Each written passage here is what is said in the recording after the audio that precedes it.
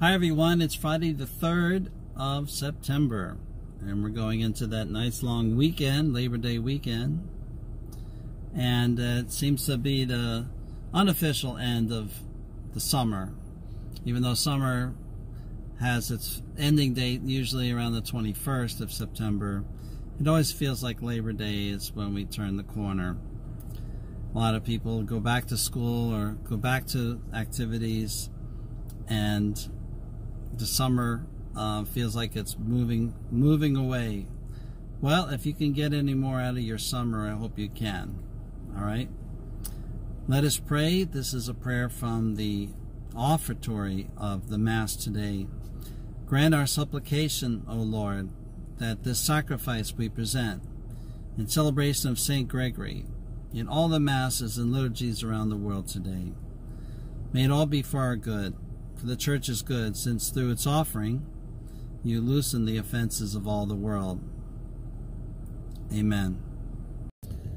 The scripture for this Friday is from Colossians 1. Brothers and sisters, Christ Jesus is the image of the invisible God, the firstborn of all creation. For in him were created all things in heaven and on earth. He is before all things, in him all things hold together he is head of the body of the church. He is beginning, the firstborn from the dead, that in all things he himself might be preeminent. The word of the Lord. So Christ gives us a picture of God. Okay, he's the image of the invisible God, but we see God in his incarnation as a human. He's still divine, but we mostly see the human picture in Jesus. We also experience him in sacraments, and we also experience him in the fact that it says he's head of the body of the church. So there's he's the head over all of us joined together as the people of God. He's the head over us. So there's a mystical presence that we have of God.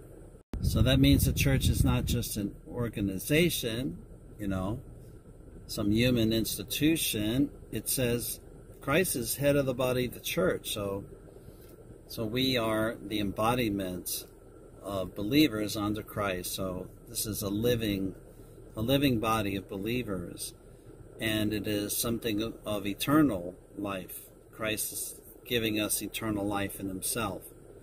We hear about the first, the firstborn of all creation, so Christ is really the, the author of all humanity, and he comes as the unspoiled, you know, human being, and then he becomes the the lamb without blemish for us, sacrifice for our sins. Then he's the firstborn from the dead. He rose from the dead. He's the firstborn, meaning the first of many to rise up. And so Christ is going to uh, give us a, united power in, in his own rising.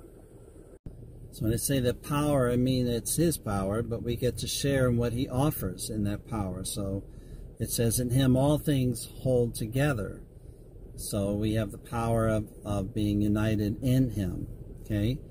All things are preeminent in himself. So we get to know the Lord of Lords, the King of Kings, the one who runs everything. And all places, all things, all time, so called time.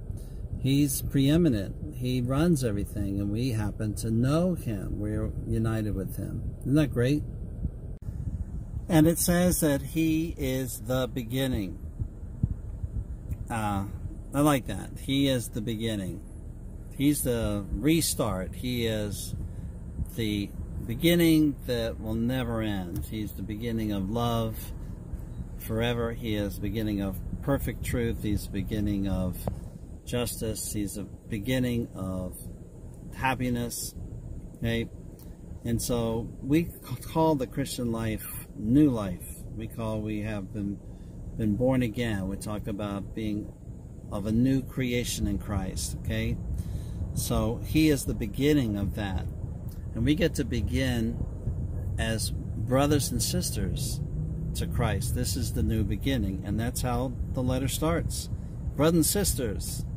See? That's what we are to each other. try to live some of that new beginning today. Try to understand you're in Christ's body today and understand that you are in Christ and afforded all that is because of your connection into Him, the Lord of all.